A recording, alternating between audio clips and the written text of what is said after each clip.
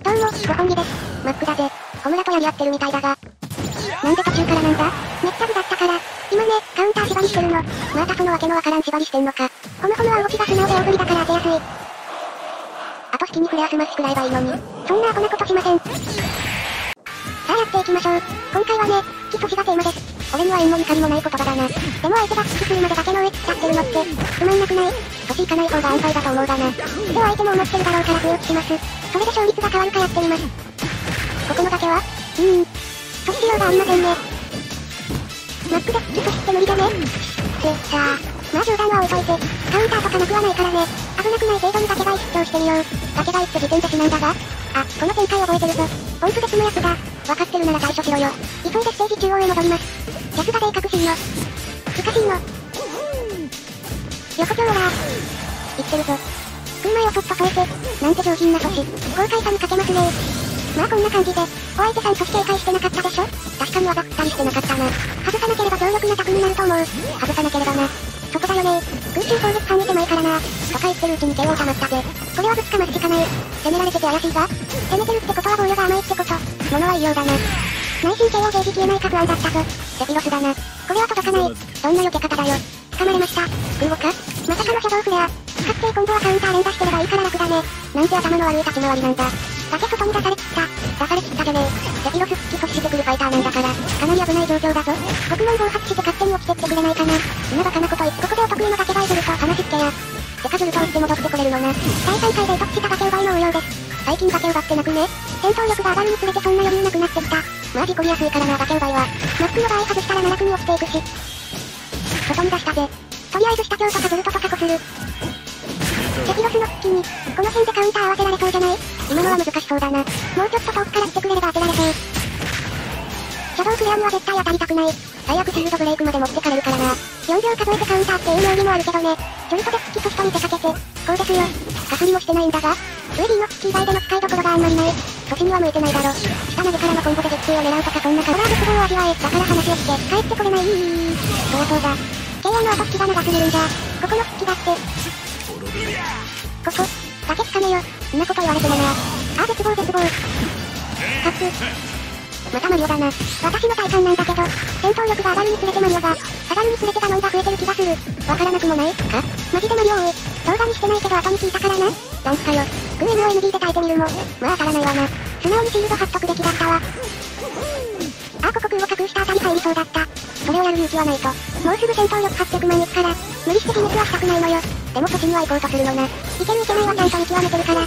ほんとかな地上ではなるべく相手に崖を背負わせるように意識。前よりは考えて戦ってんのな。昔は殴れる時はとにかく殴ってたからねどこ殴ってんですか？あかん。最近気づいたんだが、横スマウスと相手がちょっと押されるから、パーチャン掴み取らないわ。うわほんとだ。今まで神経すり減らしてセンター当てしてたのが、バカらしくなってくるぜ。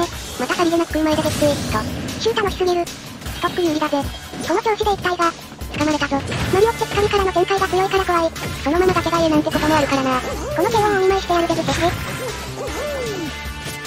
画面、見てる？手で指が動いちゃうんだよね。どうにかしなければ。困ったら横上。下強が防がれてもゴリ押します。バーちゃんにフルトが噛み合うのな。くらえ。あかん。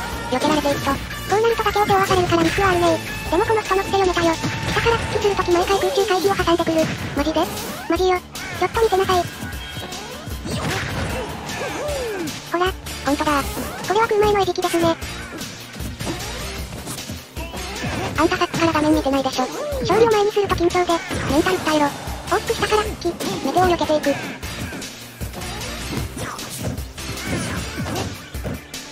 画面を見ろ。ピー。絶対回避するぞ。読み通り。はい、かん。ジョルトするなら当ててくれ。ヤングルかな。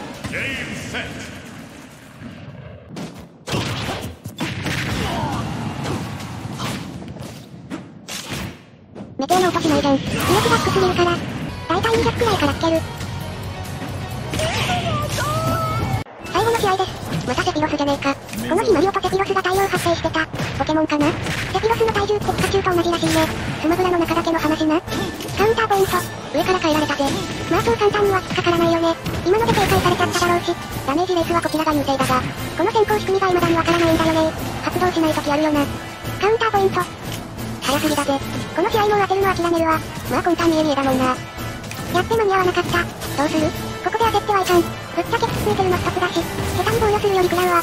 致命傷にはなっちゃいないが、だけ展開だぜ。あ。返り討ちにしてやろうか。それキャンセルできるんですね。逆に知らなかったのか。マック以外ほど使わないもん。アップねえなおい。礼を外してピンチが続くぜ。なんのあ、不明。今当たったかと思った。ックの手の低さが幸いしたぞ。素直に喜べないんだよな。このまま押し切っちゃうぞ。上上上上。一徳開けて横上。外に出したぞ。キスし。なんか嫌な予感したから何もしない。それもあり。というか俺の戦い方としてはそれが普通。でも空飛んでみたいでしょ？うん、見たい。行きますよ、例の。キスキスしてね。スーツメタイまでも通じるのだろうか。今回はこの辺で終わりますね。キスしも外さなければ大いにあり、あれ？世界戦闘力はなんと800万突破しました。リップが現実に帯びてきたぜ。そんじゃ、まあ、ご視聴ありがとうございました。よろしければ高評価、チャンネル登録お願いします。では次回の動画でお会いしましょう。サラダバー。